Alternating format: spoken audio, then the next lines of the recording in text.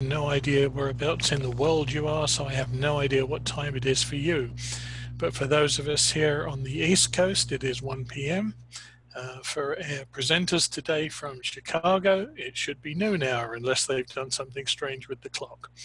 Anyway, welcome to uh, this, our fourth week of Lunch and Learn sessions. Uh, we have a couple more really good sessions coming up later in this week. So if you've only signed up for this one, make sure to check the web pages and see what else there is available. In the meantime, it is my great pleasure to present to you the gentleman from CNX uh, on building an IBM web app in under 10 minutes. I don't know what they're going to spend the rest of the hour doing, but uh, I'm sure they'll find some way of doing it. Uh, one more quick uh, admin uh, requirement before we go on. If you have questions uh, for the presenters, please put them in the Q and A. That is the Q and A, because that way we can make sure that we get you a response, even if we're unable to get to you during the session. If you put them in the chat, that is much more difficult. So please put questions in the Q and A. And with that, I'm going to hand off to Richard. And since it's your slide already showing, my friend, you are free to go. Thank you very much, John. Uh, this is Richard. I'm just going to wave uh, for, for a second here before I turn off my camera. The other guy in the room here with me is Rob. I don't know if you want to wave, Rob. Everybody can see him. We are in our office in downtown Chicago right now, but and we're in the same room, but we are social distancing. Rob's about six feet away from me to my right. All right, I'm going to turn the video off now so we can uh, focus on the presentation. All right, so this is me, and I'm just going to start out by uh, giving my email address.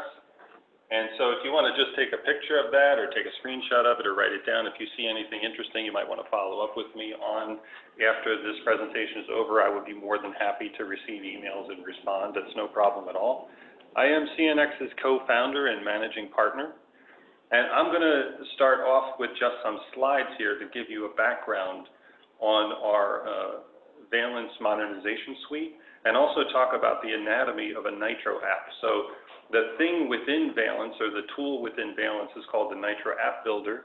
That is a low-code app builder that comes with Valence, and that, that is what Rob is going to uh, demonstrate uh, later on. And this is Rob, and this is his email address, and he is co-founder and senior partner of CNX and he will take care of actually doing the demonstration. Once I'm done, I'll hand it off to Rob.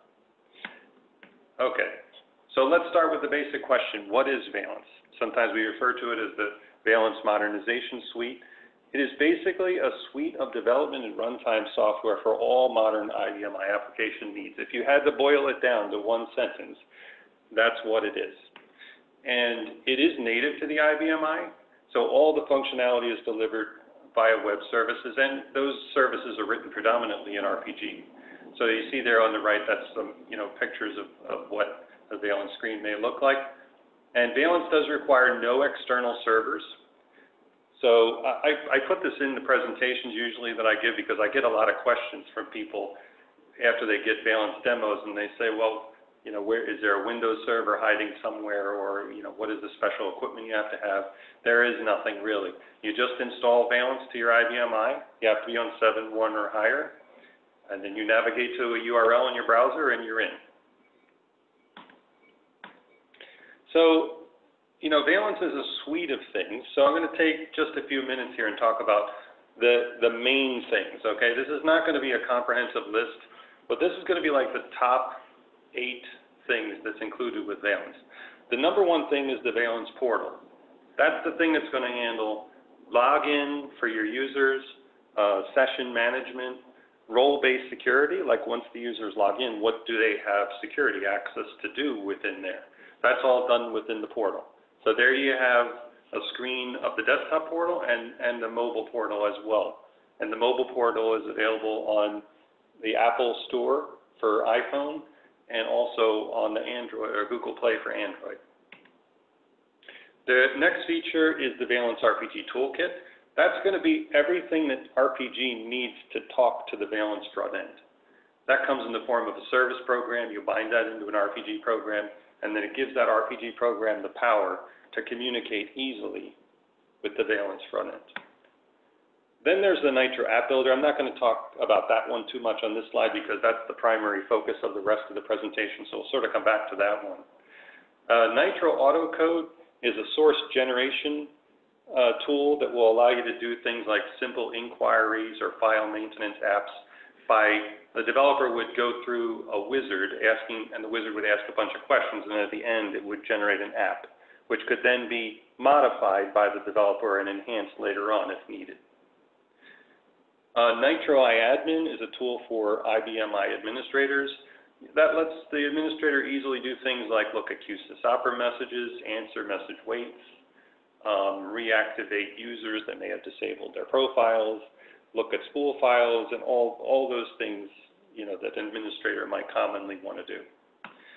Then there's the Nitro file editor, which I think we'll demonstrate that for a few seconds later on. But that's a really awesome file editor utility. Um, that also handles double bytes, so like if you have Japanese or Chinese and stuff like that, uh, the file editor, you know, can handle any database file on your system to modify. Um, then there's something called the source editor, which is really, the source editor has really evolved over the years. We mostly use it for IFS management now. Um, in the early days of Valence, we actually used to edit source code with it. We don't really do that anymore. So in fact, in Valence 6, which is coming out later this year, we're renaming that to IFS Explorer. the IFS Explorer, yes. Uh-huh. Um, and then there's Fusion 5250, which is a relative newcomer to Valence. This is a HTML5-based emulator, which we're also going to show that for a few seconds uh, when it gets to the demo time. Uh, this is an emulator that will work within the Valence portal uh, to where, you know, especially with a lot of users working from home now that weren't before, um, companies don't have to install client access or uh, access client solutions or another emulator on all those different PCs. As long as the user has the emulator, uh, or I'm sorry, a browser on their computer and they have access to the IBM i, they can use Fusion 5250 to access all those green, green screen things on the system as well. So those are sort of the main features, and I'm ending this slide by putting a star next to the Nitro App Builder because, you know, this is, this, this is really the star of the Valence modernization suite. Um, this is what actually drives most of the Valence sales. Um, you know, customers that get potential customers that get demos of Valence, you know, once they see how easy it is to actually develop apps with this tool, you know, that is sort of the main driver. All the other things are very important too. Uh, sometimes I, I jokingly refer to, uh, you know, if Valence was a movie, the Nitro App Builder would be sort of the star of the show, but you have your supporting cast as well. All, all of those are all important. And so the, the Nitro App Builder, uh, the next slide, we'll talk a little bit more about that. So what is that? It's a low-code app builder, okay? So you use it to create user interface elements like charts and lists and all these things here. We call those widgets, all with no programming required, okay? You can do programming to enhance those if you want, but it's not really required to do the do uh, basic and intermediate level things. So once you create these user interface elements, you can take those and you can uh, form multiples of those, one or more of those, into what we call a Nitro app, okay? And then once you have those arranged, you can specify behaviors. And these are like user actions that define what will happen if the user does something, like maybe they click on a button or a row on a grid or something like that. And then once you're done creating this app using the Nitro App Builder, then you can use the Valence portal to deploy those to your users, okay? So this is what we're going to be going through. Um, so before, before I start talking any more about how we're going to build that app, I do like to talk a little bit about the theory of operation behind the Nitro App Builder, because if you're a developer listening to this right now who has only ever written manual code, you may say to yourself as we go through this demonstration, well, I don't want to use a tool like this. I want to have 100% and complete control over all the code, okay? And so I get that question a lot. Why would I want to use that as a developer? And these are the reasons, okay? Number one, it takes far too long to create and deploy useful modern web and mobile applications on your, for your IBM i users. If you're doing code 100% manually, okay, it's really taking you a long time, okay? Yes, you have complete and full control if you write every line by hand. But really, that takes a long time. And the businesses that we work for, whether you're an employee or if you're a contractor or whatever, they really need those applications that they've asked you to do in hours or days. The, at least in my experience, you know, when I first started out uh, in programming, oh gosh, you know, in the mid 1990s, uh, we had the luxury of having weeks or months usually to produce something, you know, if it was asked for. Those days are long gone. The people that we work for now, they demand, they demand things quickly. And if we don't provide it for them, they will get someone else to do it quickly for them, okay? And then uh, the next one is that truly modern user interfaces, and I have that word italicized there, truly, because sometimes we see things or, or other people pass off something that looks like, they say it's a modern user interface, but it really is not, in our opinion. So I say truly modern user interfaces do require a high skill set, okay? And the, the skill set needed to code those user interfaces manually, that has a long learning curve, all right? And then the last one is that, you know, the good development resources that can do these kind of apps are very scarce.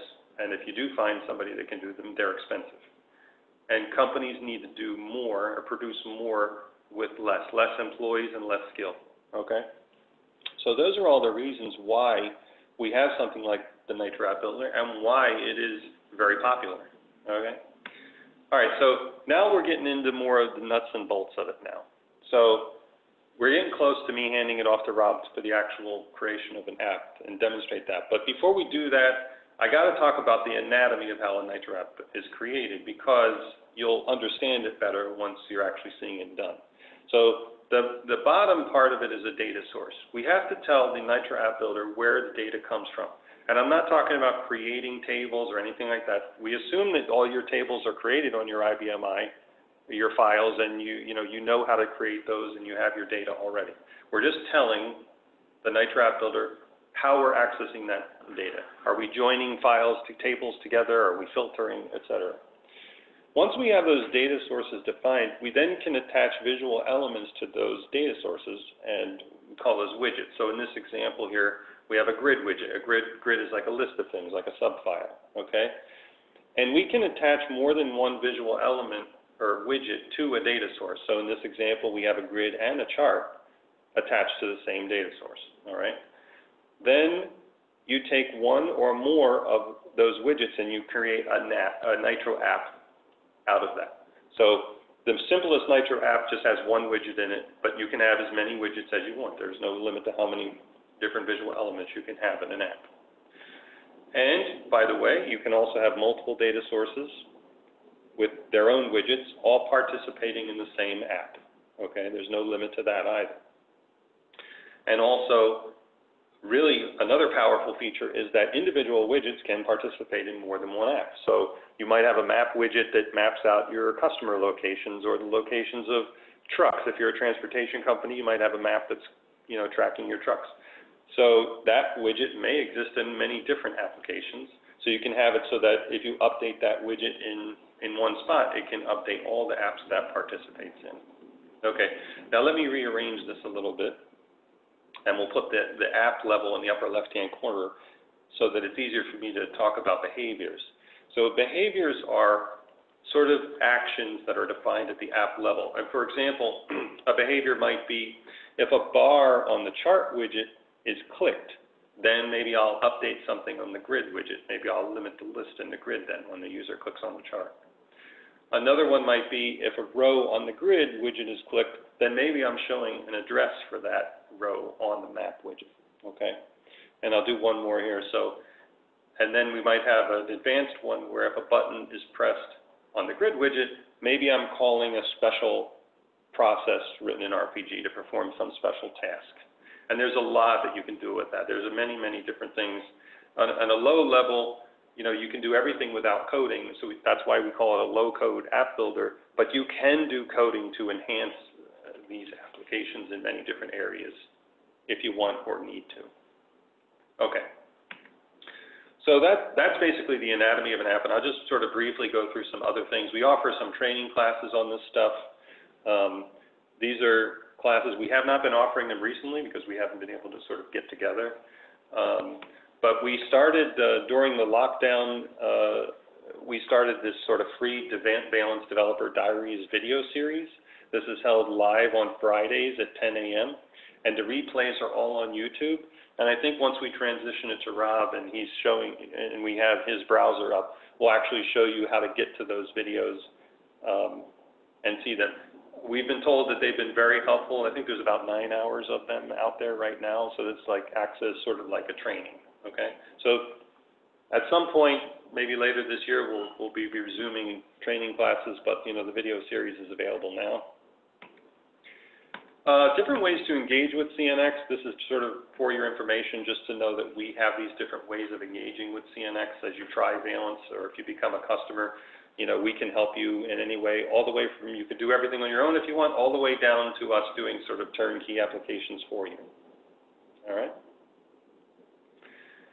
Uh, this is some notable customers that we have, you know, just so you know, this is actually used, uh, the things that you'll be seeing are used by large customers in many interesting ways, so that's some notable customers. Um, and now it is going to be demo time. Now, before I, before I transition it to Rob to actually see how a, an application is created, I'm just going to reiterate again, you know, use the chat to ask Actually, use the Q and A, not the chat. Oh, I'm sorry. Okay, use the Q and A, all right. It was chat last time, I apologize. So, so, so use the Q and A for questions.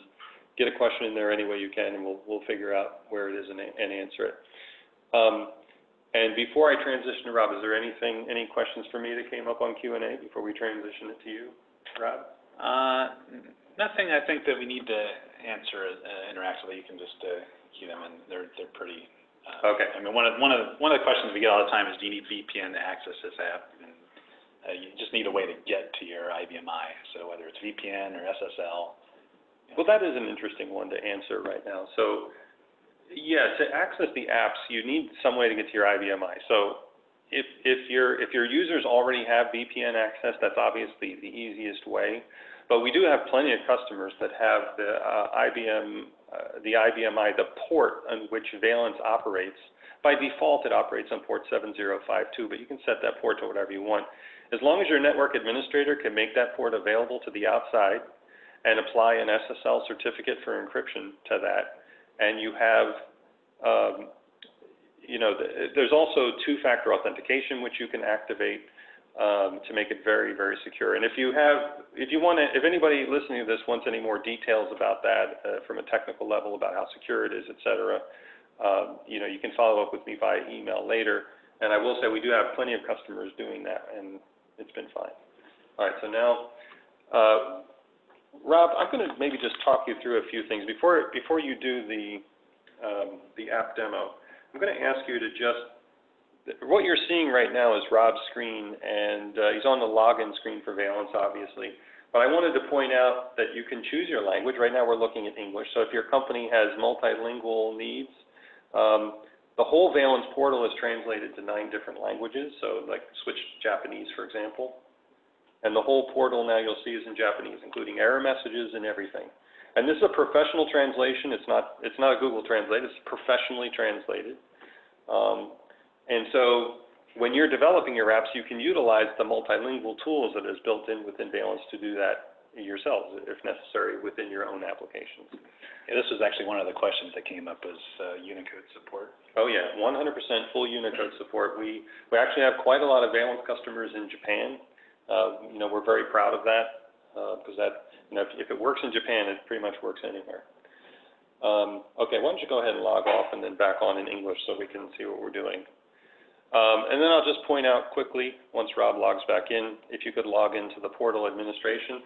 So if, if you would be the one responsible for administering apps in, within Valence and deploying them, you would use portal administration. And this is where there's a ton of settings within Valence. Obviously, we don't have time to go through them all, but there's many, many different options of how to set Valence up uh, with, with security and how to log in and all that. Um, and Rob, if you wouldn't mind maybe uh, flipping over to the users. Um, so this is all your users that are defined within Valence. This is just a test system, so we only have a handful. Um, here's where you would go to define what the user has access to. So you can assign groups, you can assign apps to groups, and then you assign groups to users. And then when that user logs in, they're only going to be able to launch those apps for which they're authorized either, either individually or within their group. So like, for example, your users, end users generally would not have access to portal administration at all. That's an administrator's tool. So they're only gonna have app, a- access to the apps that you give them authorization to. Okay. Um, I think that's pretty much it. Uh, we don't need to cover anything more in there. There, there's a lot to that portal administration. It's very well documented, so you can look that up if, if you want. Um, I would like to probably just show a few of the examples of Nitro App Builder. If you go, the orange icons along the bottom there are all example apps that are included with Valence that are actually distributed with Valence to give you an idea of the kind of things you can do with the Nitro App Builder that Rob will be demonstrating. So just click one of them, Rob, Customer Dashboard. This is an example of a customer dashboard. You could call this up on the Nitro App Builder and just see how it's defined, see how we created it. Um, you know, very simple. Where are the customers? You know, what countries are they in? This is all test data, by the way. Uh, you can click on one of the pie, pie charts and see a map. So Rob clicked on Germany, and now we're seeing, okay, there's the actual address locations all in, in Germany. It's just using the Google Map API. Um, pretty easy to set up. Okay, that's customer dashboard. Let's try another one. This is IBM iTables. This is an example of using the IBM SQL uh, service utilities. Okay. So If you're familiar with those, you can, you can uh, imagine how you can just create an SQL statement to give you a list of, you know, informatics from your own IBM i system. Okay. Let's show, let's show one more in the interest of time. Uh, just the warehouse dashboard. I kind of like this one. So this is a, you know, if you're managing a warehouse, whatever, you have on-time performance of shipments, uh, on the pie chart in the upper left. These are all the upcoming shipments in the list. Uh, you can click on one of them to get more information, so forth. So you can, you can call up all these within the Nitro App Builder to see how they're defined and how the behaviors work and how they link, uh, link back and forth. So you can sort of click all around here and test those. I think before I turn it hundred percent over to you, Rob, maybe one more thing, we show the Fusion fifty-two fifty. I kind of promised in my first slides we would show the Fusion fifty-two fifty. This is the emulator that works right within the browser. So Rob just clicked on the icon. So now we're actually using an emulator right within the Valence portal. So nothing special had to be installed on the system or anything like that. It's a full-blown 5250 emulator. Um, this is a CNX design. It's not something that we, you know, bought from another firm or, you know, shoehorned some Java thing in here. This is something we coded entirely ourselves. Um, it is a totally HTML5 uh, emulator. And I Um, mentioned also, you can set up macros, so you can actually have individual icons that go into specific programs. So for instance, the legacy order in- inquiry here, we'll actually demonstrate this later with the low-code tool.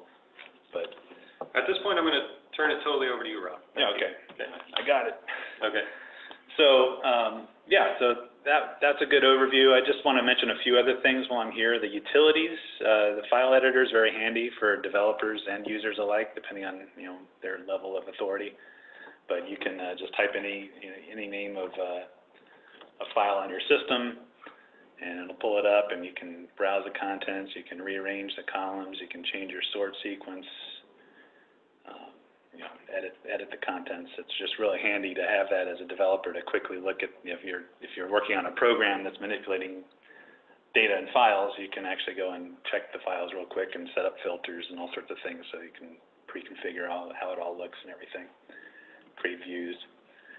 Um, Another thing, as an RPG developer, uh, which I imagine a lot of us on here are, if you're creating, you know, web service programs or things that respond to uh, the Valence portal, you can uh, use this test RPG call application to actually see, you know, uh, the example of a of a response coming from your RPG program. So I happen to know we have a program called EXGrid all, and if I do an action of load, I think it's called load grid.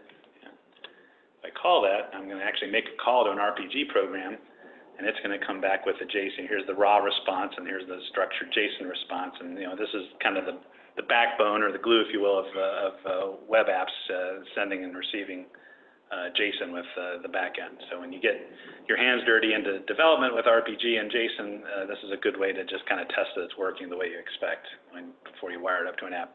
But what we're actually going to cover today doesn't involve any coding. The idea is that we're going to whip out a co- whip out an app in 10 minutes.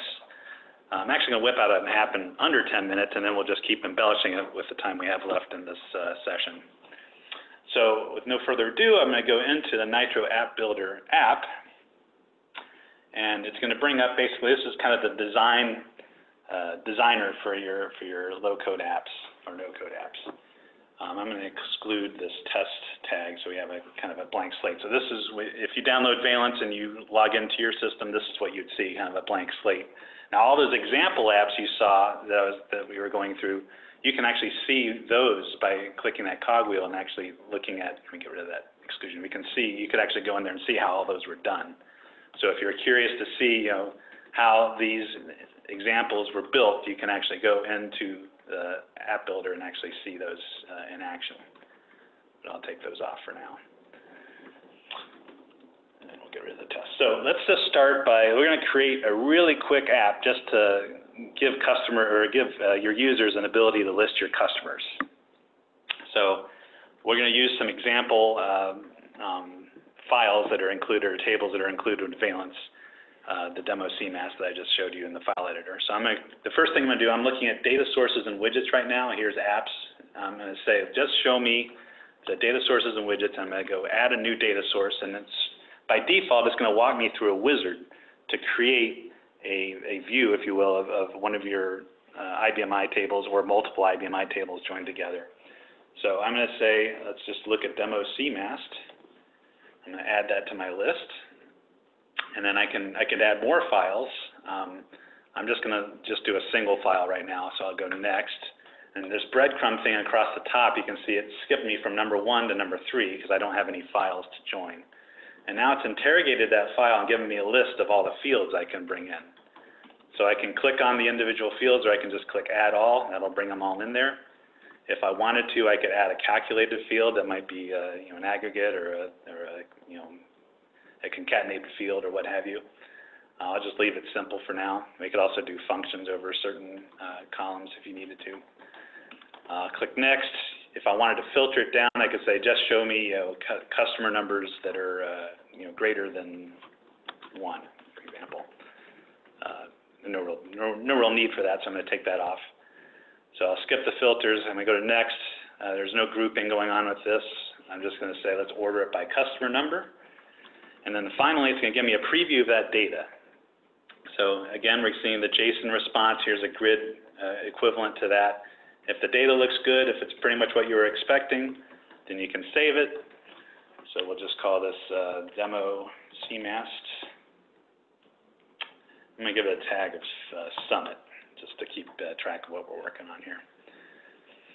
So now I've created a data source, which just gives me a list of customers. And so the next step is let's map that to something the users can visualize. So I'm going to create a widget over that. Now, when you're creating widgets, there's a you can do charts, you can do you know graphs and grids. Grids are very common. It's like a subfile uh, and, and on steroids. so I'm going to create a grid over that data source, and again, it's asking me for all the columns. I can I can pick the ones I want. So I'll just pick uh, pick the ones I think that are going to be useful here. And once I do that, it's going to start showing me a kind of a canvas of what what it looks like. So I can see down below here, here's the grid, here's the columns I've selected. I can see I've got some column headings that are truncating and things like that. So this is where you get an opportunity to clean that up. So I'll just change this to cust number. We'll call it, that one looks good. We'll say this is just address. Call this city, state, country, and year-to-date sales, and we'll just say last activity. So you can see now we've got a little bit more user-friendly columns. We don't see any truncation. We can change the column widths. Now, column widths are relative to each other. So example, for example here, it says the state is one and the address and name are four. So that means these are four times as wide as a state, and these are being set by default. And relative widths are good in the web world because if someone's on a smaller screen, you can see these widths are all adjusting proportionally based on, based on these settings. So uh, that's kind of handy to, to not specify specific pixels. But you can do that. For instance, I know the state will never be more than 50 pixels. Anything greater than 10 indicates pixels. So that'll, con that'll constrain my state to a specific size. So now no matter what the screen size is, that state stays the same. So those are some of the tricks you can do. Uh, we can also do some formatting. So let's say we want to center align the state. We'll put the sales in the format of some money. And we'll format our date in uh, the format that most Americans are familiar with. And I think that's good for now. So now we've got a grid built over our data source. So I'm going to go ahead and save this. I'll call this the demo CMAST grid. I'll put it on the summit tag as well. This is just to help, once you create a whole bunch of data sources and widgets, it gets uh, kind of messy if you don't have tags. Are you gonna, uh, Rob, are you, I'm sorry to interrupt, are you gonna be creating more data sources, uh, through? Yes, I'm going to create, I'm going to create an SQL data source. Uh, um, that's probably a good question. Somebody, somebody sort of missed it, how you got here, so I, I just wanna say in the, in the uh, Q and A that you're gonna be creating more data sources coming up. Yeah, I'm going to do, a- a- after our initial hit of this app, I'm going to come back and embellish it with another data source that's built through SQL, which is actually my preferred way to do it. So, all right, so now we've got a data source and a grid. I'm going to go uh, to the apps now, and I'm going to say, um, let's exclude this tag here.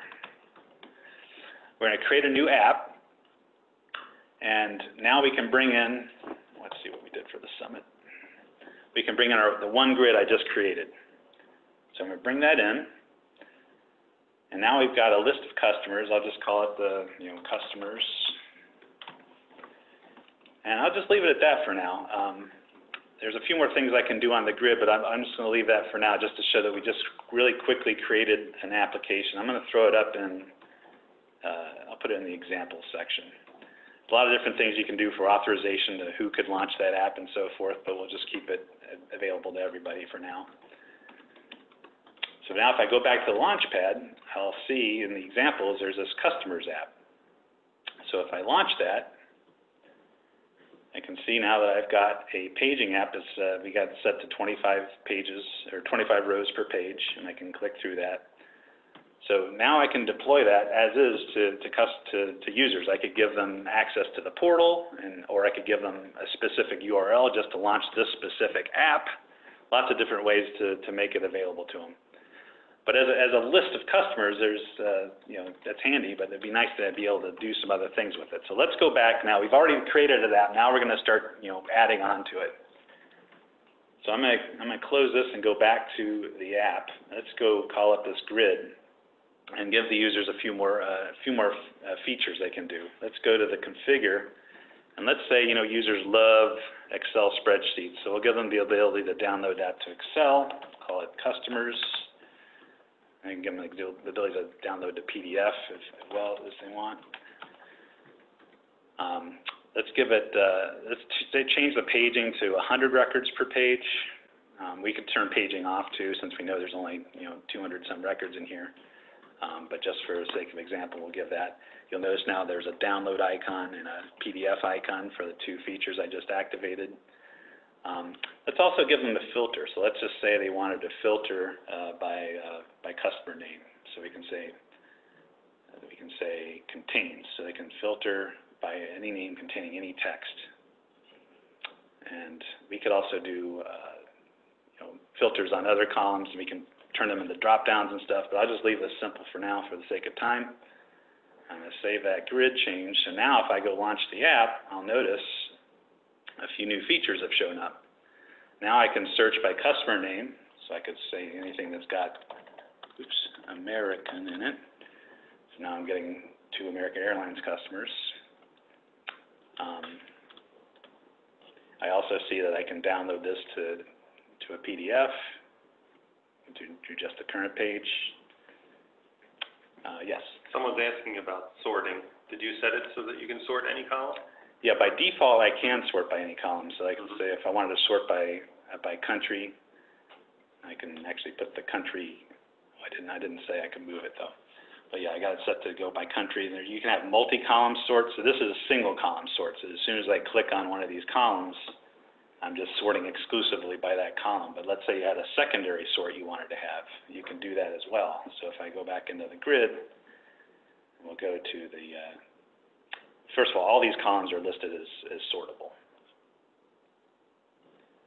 So if we want to say multi, we can say, let them, uh, we can also give the users the ability to resize columns, move them around, you know, hide them if they want. Uh, and multi-column sort's a, a nice one if you have a situation where you need to sort by multiple columns. So if I save that and relaunch it, now the, the nice thing about these is you're just turning features on and off. I'm not having to do any coding for that. So now I can see that I can, uh, I made it so I could drag columns around. So I could put the country first and then the city. And then I can make that my sort. Right now I'm sorting by customer number because that's how I set up the data source. So if I click on additional columns now, I'm actually adding to the sort. So I want to make that, if I make the customer number the tertiary sort, I can see now I'm sorting by country, city, customer number. And then I can download that to Excel and go do something with it if I wanted to. So now I've given my users the ability to go get a list of customers and download it and go, uh, go to town with it in, uh, in Excel or wherever they want to. Okay, so let's, uh, let's go back to our app and, and do something different. Let's say, actually, I wants the app again. Let's say I want to give, you give another feature to the users and say, let's say I want to drill into one of these customers and see their orders. So I'm going to create another data source. Uh, this time I'm going to use SQL to do it. So instead of hitting plus, I'm going to hit this little keyboard icon here, and I'm going to create a free format SQL statement to get my next uh, grid created.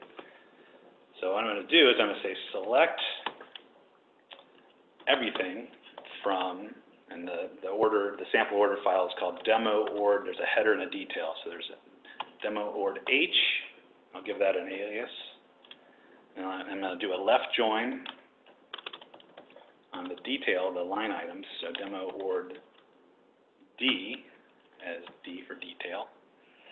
And now we need to join them. And now notice as I type this, it's actually showing me all my columns for both those files. So it can, it can be helpful if you want to know what, what's the name of the order number that I join on, so I can see it right here.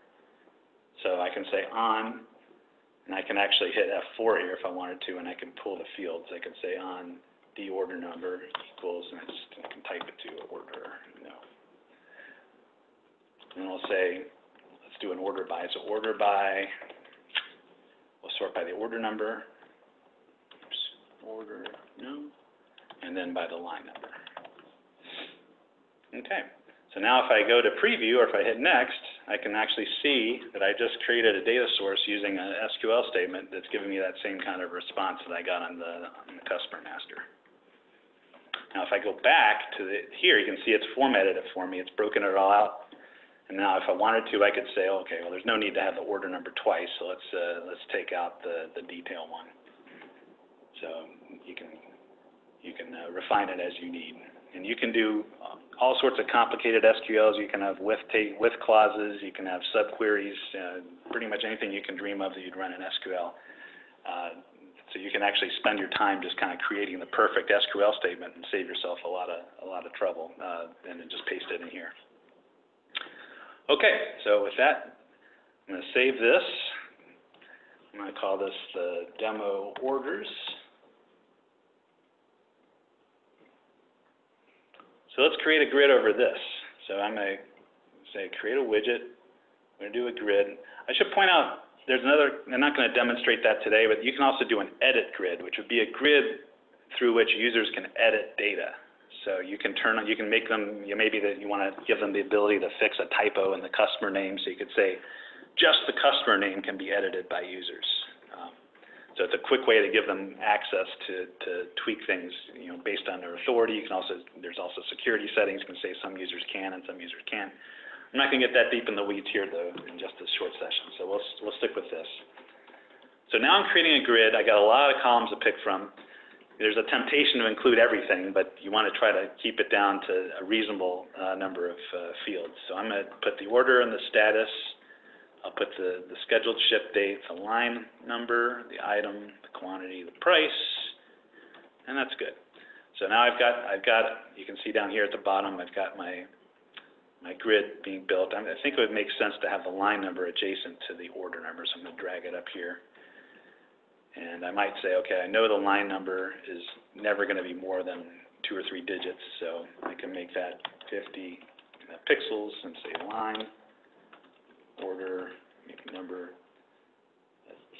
status, you know, you can kind of see some things that might, might get kind of long. This is, this is a pretty long one. If I, if I'm going to squeeze this into a small grid, that might get kind of long. So what I can do is you can use HTML formatting. So I could just say, let's make this a two line. So I'll put a BR in the middle. And now you'll see down here, the scheduled ship date is now a two-line heading. So you can do all sorts of tricks like that.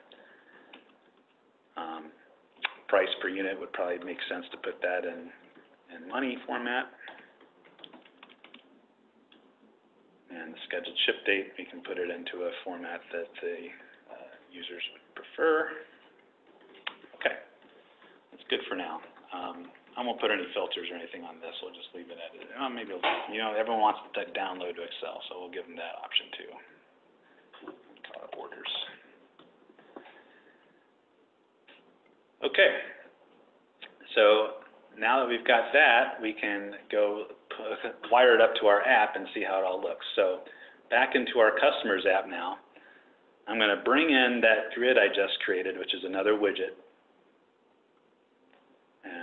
And we wanna do the, the, the test orders, oops, let's make sure I get the right one, mixing up, there it is. So, is that the one I just created? I think I might have misnamed it, let's just take a look. Yeah, that is it. Okay. So if I want to add it as a pop-up. So I'm going to say, okay, add this as a pop-up. And now that I've got that, I can actually wire it up within my behavior. So I'm going to click this button and I'm going to say, I'm going to give the users an option to click on a row and bring up that list of orders. So I'm going to say in my behaviors, I'm going to go to my, my grid. I'm going to, I'm going to add a, I'm actually going to add a, a row menu because I'm going to do several things. I'm going to say list orders.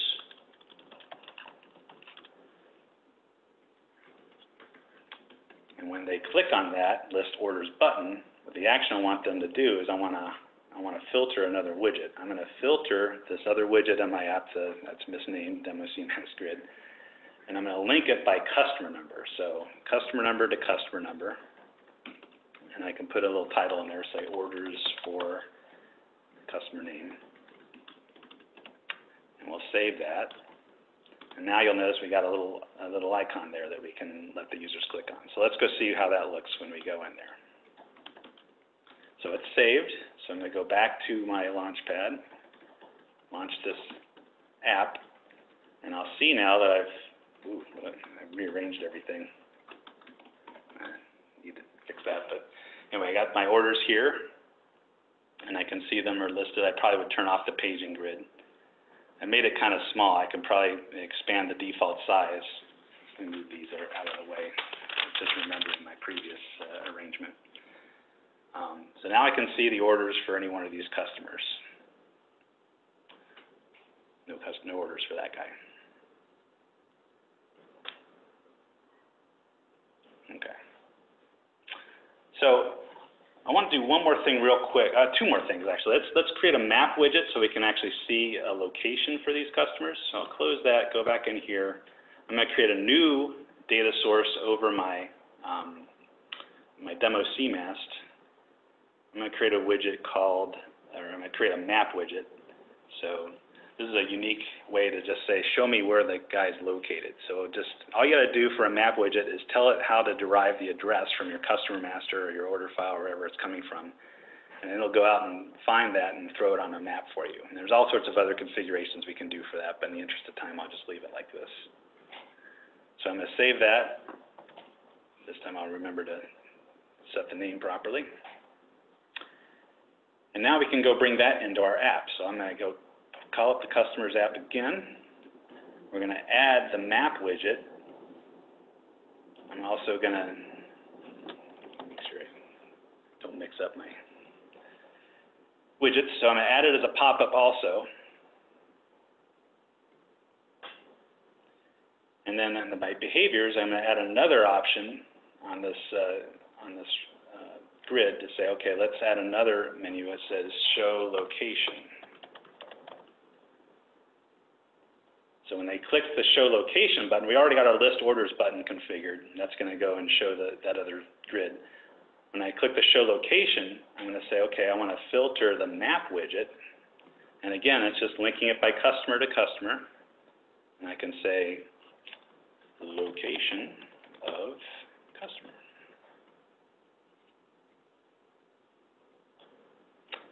Okay, So now when we go into our little app, we're going to see that we have another menu option. So if I go click on CNX, let me put the customer name back, back as the first column, or second column. So I say show location, it brings up a little pop-up of our location. Okay, one last thing I want to squeeze in before we do, uh, do too much more is, uh, with the Q&A is I want to show you a way to tie this into your legacy applications. So one thing that comes up a lot is, uh, with our customers is they're, there may be mostly a green screen shop and they have customers that are very used to their green screen and so throwing them into something like this can be a little bit of a shock to the system. Um, so there's a way, a, a way to ease them into it would be to let them still get into their old green screens while still also leveraging some of the new features. So let's say they, the, customers have this legacy order inquiry, that, and I just kind of whipped this up as a demonstration. They just love this thing. There's no, no weaning them from it. So, okay, well, let's give them a way to get to this from within our app. So let's just say if we, if we were in our app, if they, could, if they could click on one of these customers and get right into their legacy order inquiry, that would be, that would just make them happy as clams. So I'm going to go in, back into App Builder, and I'm going to uh, wire up a, a, tie-in to that specific Fusion, uh, or I'm sorry, 5250 screen. So I'm going to go into my customers app.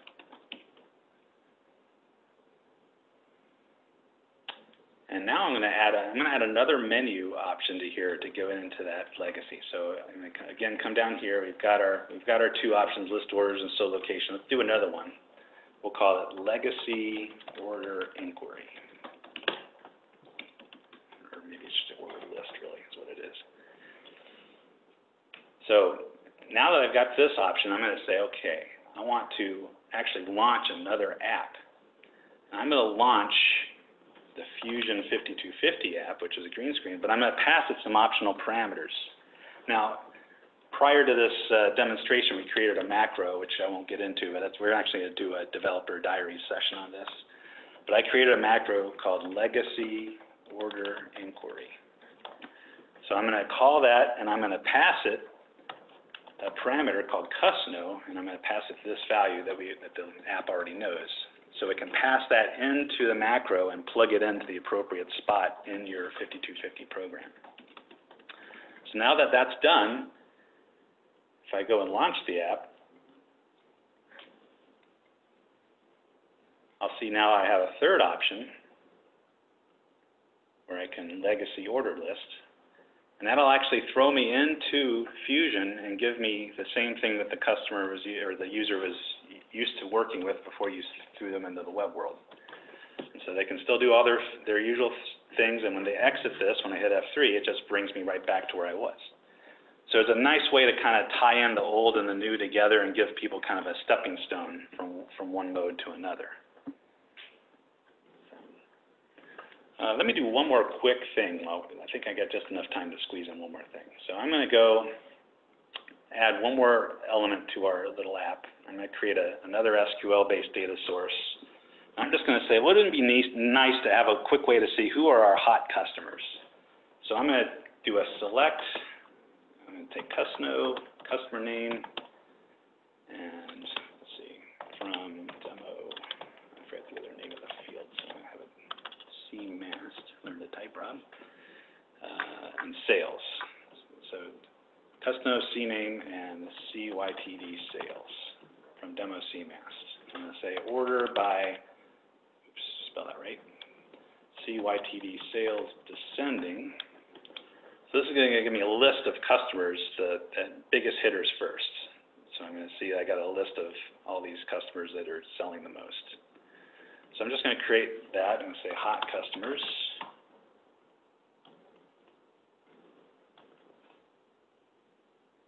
And I'm going to bring that, uh, let's see, let's go create a quick uh, widget over that. So this time, instead of creating a grid, I'm going to create a column chart. And the data field that we want to show is this is sales. And the label is, we'll use the name because the customer number doesn't mean much.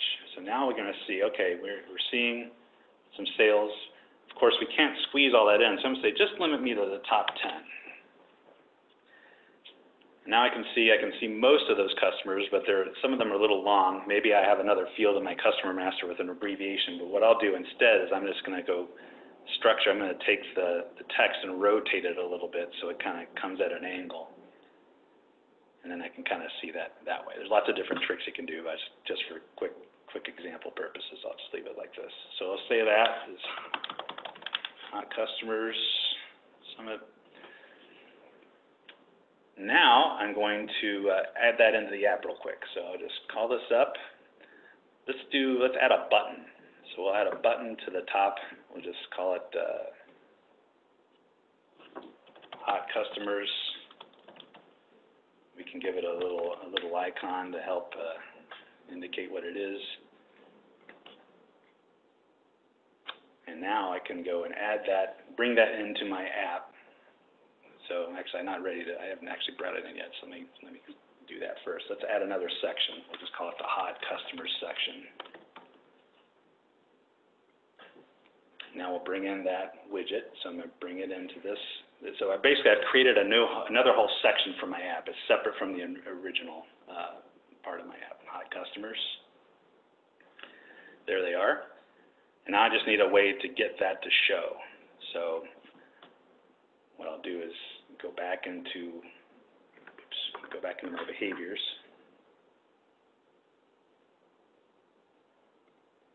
So put that button up there again, I didn't save it right for the first time.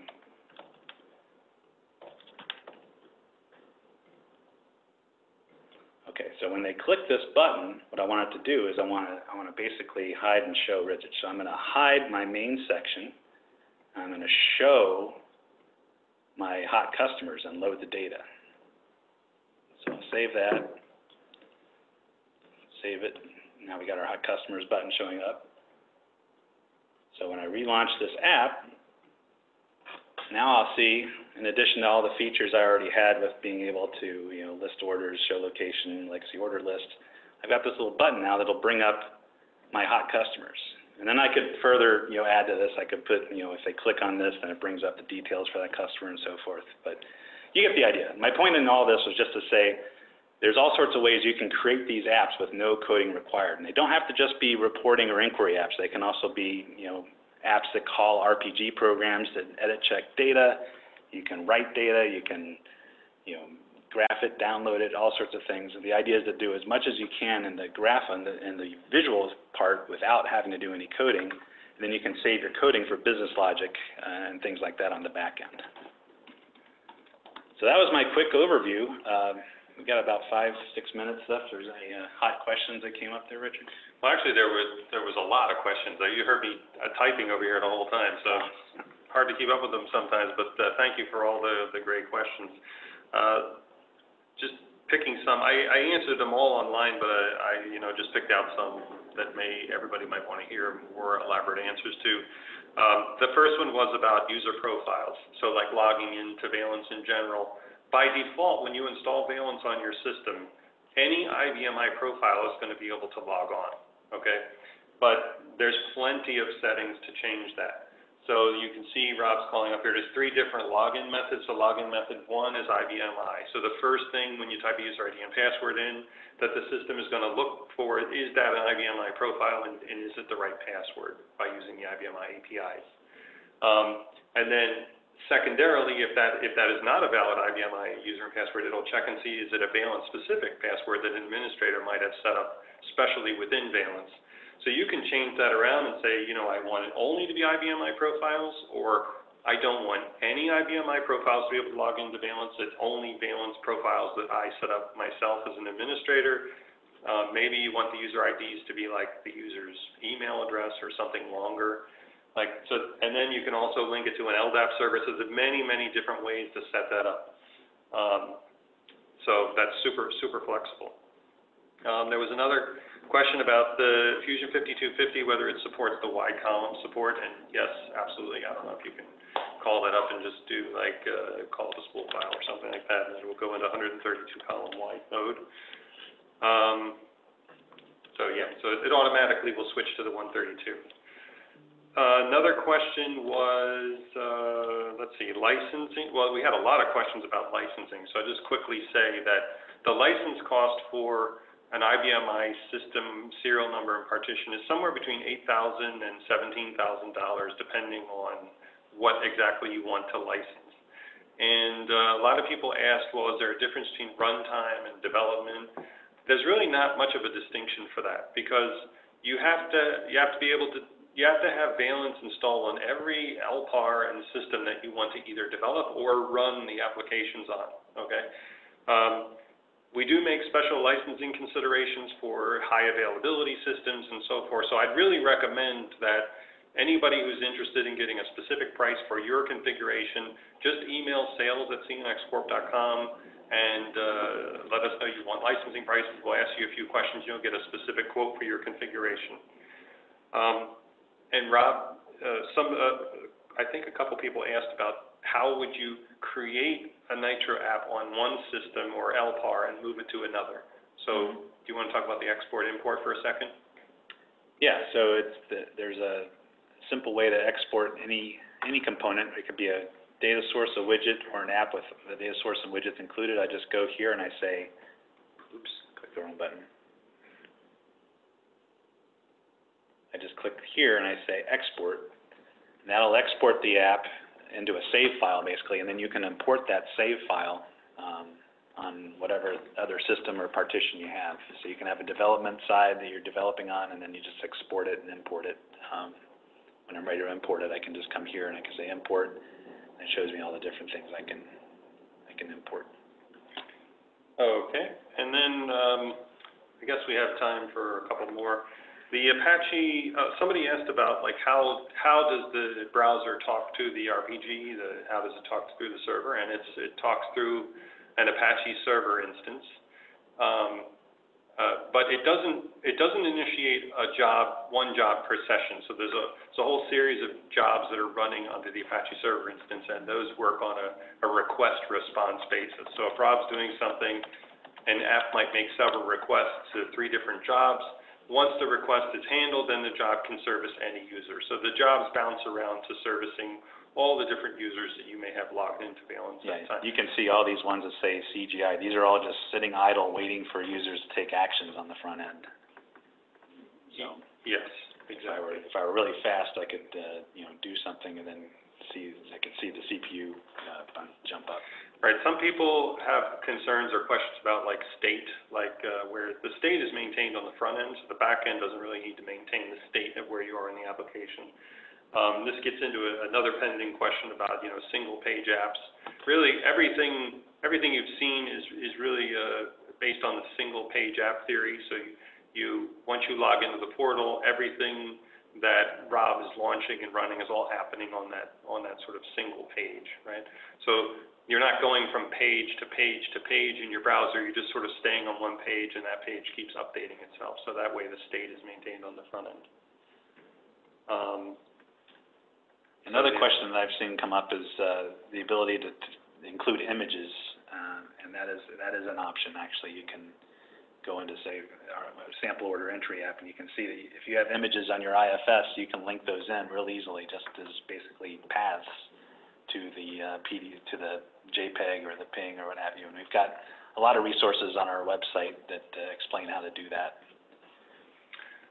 Uh, okay, so last question, I think we'll take one more real quick. Um, the costs that I mentioned are, that's a one-time licensing cost, okay? And then the, that the first year of maintenance is included with that, and then additional years of maintenance beyond that is twenty percent of the license cost. So that, that's sort of the licensing and then, um, annual maintenance. So then, uh, if you wanna run Valence on your system, if you like what you saw and you wanna try it on your system, just go to cnxcorp.com, click the downloads button, just click that top download link. It's very easy to install. You can be going in like twenty minutes.